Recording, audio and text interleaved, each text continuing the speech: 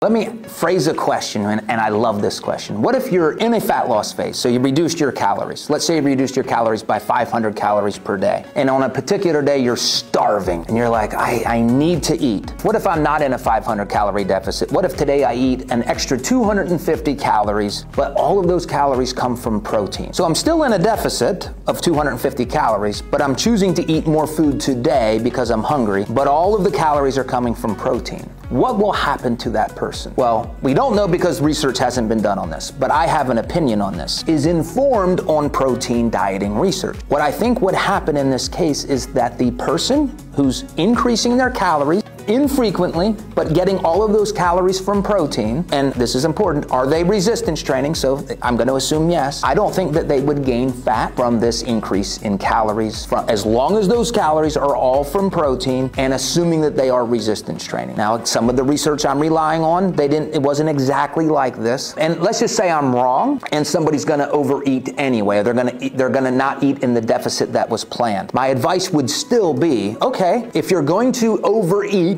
when in a deficit, overeat with protein. Will you gain body fat? I don't think so, but even if I'm wrong, that's still the advice I would give if they're gonna have excess calories anyway.